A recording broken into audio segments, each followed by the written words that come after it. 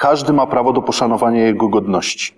Nikogo nie można zmuszać do pracy. Wszyscy mamy prawo do założenia rodziny. Każdy ma prawo do krytyki władzy. To wszystko wynika z karty praw podstawowych Unii Europejskiej. Dlaczego rząd Donalda Tuska, mimo obietnic, nie wprowadził jej w Polsce? My ją wprowadzimy. Paweł Piskorski kandyduje do Parlamentu Europejskiego z ziemi zachodniopomorskiej i lubuskiego. Europa Plus, Twój ruch.